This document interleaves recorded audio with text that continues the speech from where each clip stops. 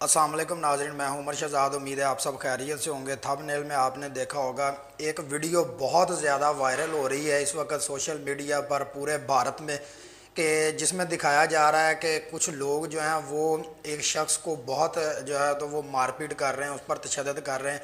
और कहा यह जा रहा है कि जी, ये भारत के जो अदाकार हैं अजय देवगन, वो हैं, जिसको लोग मार रहे हैं। ये इस वीडियो की हकीकत क्या है और क्या वो वाकई अजय देवगन और वाक़ पेश किस वजह से आया, ये मैं आपको सारी तफसीर इस वीडियो में बताऊँगा। उससे पहले अगर आप मेरे चैनल पर नए हैं तो इसे सब्सक्राइब कर लें, बेल आइकन को दबा लें, ताकि आपको आने वाली वीडियोज़ का नोटिफिकेशन आसानी से मिलता रहे। अच्छा जी तो ये जो वाक़ है, ये दिल्ली में पेश आया एयरपोर्ट के करीब। और वीडियो में देखा जा सकता है कि जी वो लोग जो हैं, एक शख्स को जिसने सफ़ेद रंग की शर्ट पहनी हुई है, उसे तशद का निशाना बना रहे हैं। और वो शख्स कहा जा रहा है कि जी नशे में दुत था। और जिस बंदे ने ये वीडियो बनाई और अपलोड की, उस बंदे ने भी ट्विटर पर जब ये पोस्ट की या वीडियो तो उसने भी साथ लिखा कि मुझे ये कंफर्म नहीं है कि ये अजय देवगन है या नहीं।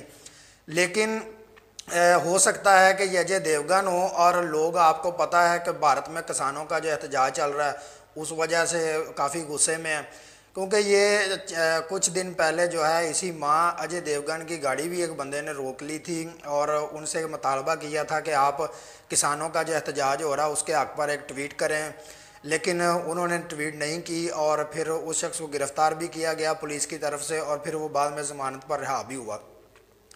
अब अजय जो हैं, देवगन, उनके बारे में एक तो ये सब जानते हैं कि वो किसानों के जो एहतजाज जारी है भारत में, उस उसके साथ वो नहीं है। वो बल्कि हुकूमत के हामी हैं, नरेंद्र मोदी की हुकूमत के हामी हैं।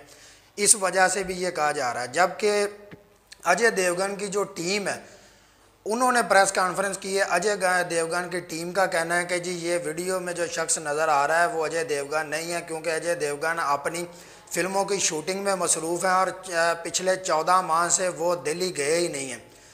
अब आप देखेंगे इस वीडियो में कितनी सदाकत है, ये कितनी हकीकत है, ये जिसको लोग मारपीट कर रहे हैं, वो अजय देवगन है या कोई और शख्स है, ये तो अब कन्फर्म नहीं है।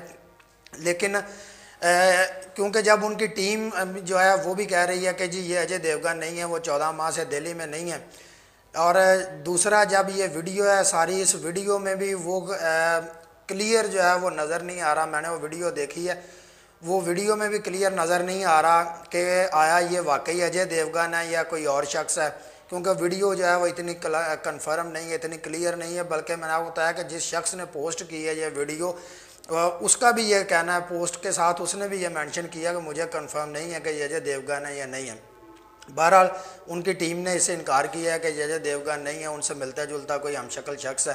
खैर, वीडियो आपको अच्छी लगे लाइक करें, दोस्तों के साथ शेयर करें कमेंट ज़रूर करें। अगली वीडियो में आपसे मुलाकात होती, तब तक इजाज़त दें, अल्लाह हाफ़